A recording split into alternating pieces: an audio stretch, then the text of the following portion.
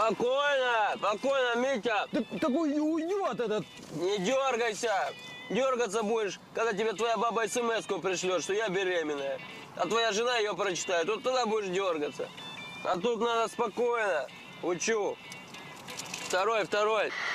Это, короче, первый. Второй на связи. В вашем направлении движется машина с нарушителями. Синяя, спортивная. И не забудьте, 20% наши. Счастливо вам работать. Понял? Знаешь, как я это называю? Сетевой маркетинг. Понял? Митька, держись на меня и не пропадешь. А болванам им даже в Египет не надо летать. Они себе здесь пирамиду найдут.